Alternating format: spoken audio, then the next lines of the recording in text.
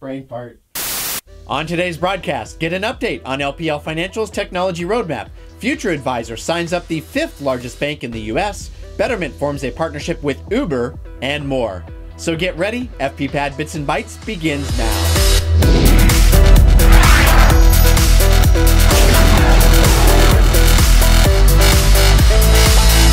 Hey everyone, I'm Bill Winterberg, and thank you for joining me for this week's Advisor Technology News broadcast. Today's episode is brought to you by Nest Egg Guru, a stress testing app for your clients' retirement planning. Designed as an alternative to Monte Carlo simulations and calculating probabilities of success, Nest Egg Guru helps you tangibly quantify how client portfolios may hold up if future investment returns don't pan out as expected. Sign up for a no obligation free trial at fppad.com slash nesteggguru to see how this low cost solution can complement the planning software you already use today. Now, on to this week's top story that comes from LPL Financial, as this week the nation's largest broker dealer held its annual LPL Focus Conference in San Diego. Now, I wasn't able to attend the conference, but LPL CIO Victor Fetter kindly connected with me by phone to cover several of the key technology announcements made at this year's event. First, ClientWorks, the replacement for the existing BranchNet platform, is now available to roughly 11,000 advisors, up significantly from the 500 beta testers this time last year. Next, an updated account opening solution is anticipated soon, which will streamline the creation of LPL account forms, pre populate forms for clients with existing LPL accounts, and automatically fire off an electronic signature workflow. Fetter also highlighted a new adoption index score that advisors can use to gauge their own adoption of particular technologies and then identify areas where efficiency can be improved. And finally, lots of attention was given to guided wealth portfolios, LPL's automated investment solution powered by BlackRock's Future Advisor platform, expected to be available in early 2017.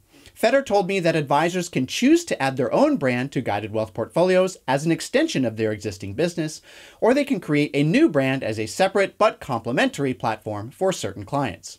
Guided wealth portfolios will consist of ETF allocations managed by LPL Research, and they will be visible in the ClientWorks dashboard. Clients can view their information using a mobile responsive website, but Fetter said that a native app for iPhone or Android is not anticipated at this time. Oh, and I think fees for this service are still up in the air, so we'll have to check back as the service gets closer to its official rollout.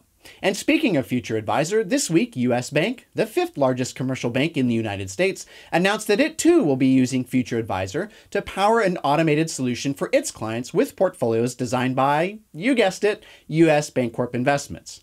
Like LPL's guided wealth portfolios, US Bank said the service is expected to be available in 2017, and fees for the service were not yet disclosed. More details on LPL Financial and Future Advisor are linked over on my website, so head over to fppad.com slash 193 to get the links to this week's top stories. Next up is news on Betterment, as this week the company announced a partnership with Uber, the multi billion dollar global ride sharing network, which allows drivers to open and fund a Betterment IRA account directly within the Uber app. Drivers do get special fees, with their first year of Betterment completely free, and after that, it's 25 basis points per year on accounts below $100,000.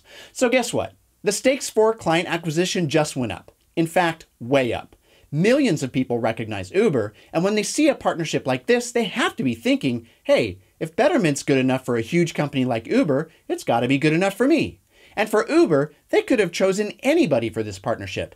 They could have teamed up with Vanguard, Schwab Intelligent Portfolios, or even Future Advisor, but no, they chose Betterment. So, the way I see it, this is about distribution and decreasing client acquisition costs. Look, for years, industry commentators, myself included, have beat the drum about high acquisition costs of automated investment services and how tough it is for robo advisors to actually make a profit. Well, if an automated service can immediately get exposure to hundreds of thousands of potential customers by getting embedded in another app, well, what's to stop Betterment from getting embedded in the eBay app to invest extra cash, or even into Snapchat right alongside the Snapcash feature?